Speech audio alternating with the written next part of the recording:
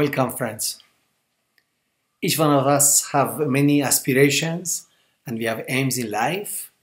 We have set some goals, hopefully, for our life to have maybe successful careers, to become a good human being, to contribute to our social progress, or taking responsibility of our ailing parents. But before setting our goals, uh, but before setting out to fulfill these wonderful aspirations, have you thought of knowing yourself who should actually achieve these aims? Maybe some of you have made efforts to know yourself, efforts to know yourself, and some of you might have never thought about it. As we all know, after completing the age of 18, one officially becomes an adult. So, as an adult, it's important to understand one's own self, to set one's target, and remain focused. Unfortunately, this is where many of us fail. So we jump from one target to another target, from one job to another job, just like a bird who sits on a new branch every other moment.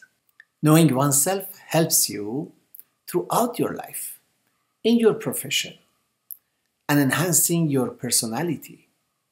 And of course, when you are working for the betterment of the world around you, it is said that true loss is for him whose days have been spent in utter ignorance of his self. That is the real loss when one does not know himself. But the question is that how does one know himself, herself? One way is by trying to know your strengths and your weaknesses and the opportunities and the threats which are in front of you. You know, it is called SWOT analysis. You can get plenty of guidance about it on the internet and also in the self development books literature. When you do your SWOT analysis, you will move from worrying about every everyday problem, you move to a new perspective, a fresh perspective in life. So you can simply create a matrix of four boxes. In one box, you write strengths, in the other box, you write weaknesses. Then, based on that, you write the opportunities in front of you and the dangers and threats which you may face because of your weaknesses, maybe, or other external causes.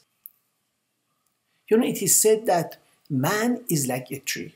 If he is adorned, if he is decorated with fruits, he is always worthy of praise and commendation.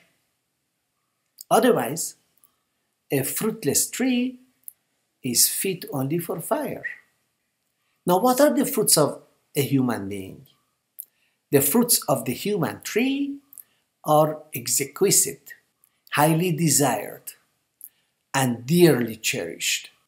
Among them are upright character, virtuous deeds, and a goodly utterance. So when you know your strengths, you take advantage of them.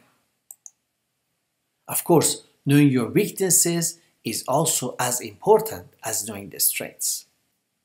You can actually search for self assessment tools on the internet and choose a tool that suits you the best or you can even take a personality test to know your you know personality traits better.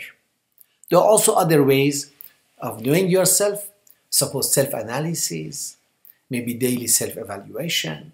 You can maintain a daily journal of your accomplishments and your challenges your interests what you are good at what have other people complimented you about.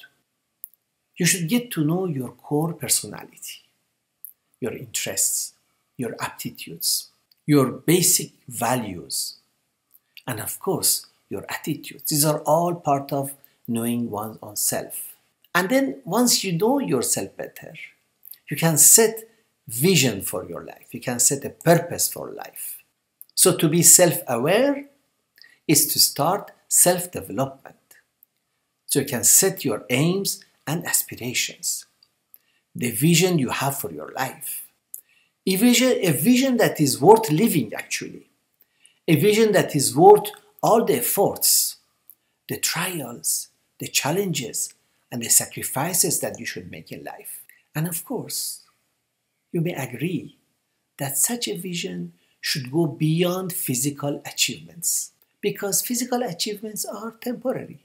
They are subjected to the physical reality of birth and death, integration and disintegration. They are not permanent. This statement. It says, let's reflect.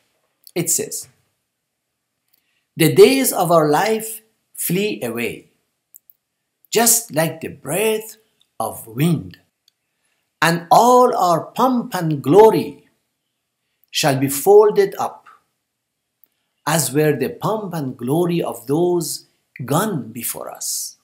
Neither the pomp of the mighty nor the wealth of the rich will endure. All will perish. What advantage is there in the earthly things which men possess?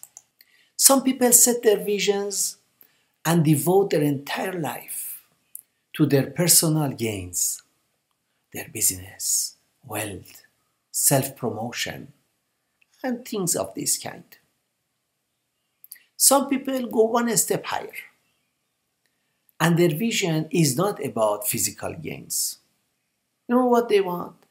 They're interested in getting recognition, getting a status, name, fame, but neither of these two are worthy of the great station that man has, because both are around personal and selfish desires. Actually, the worthy vision for one's life is when his vision is world embracing. Let your vision be world embracing rather than confined to your own self. A vision for the whole world, for the whole humanity, not just one's own self. That is what profits man. Let our vision be advancing such sciences that benefit humanity. Let our vision be for the alleviation of suffering and poverty from, from among the poor, from among the people.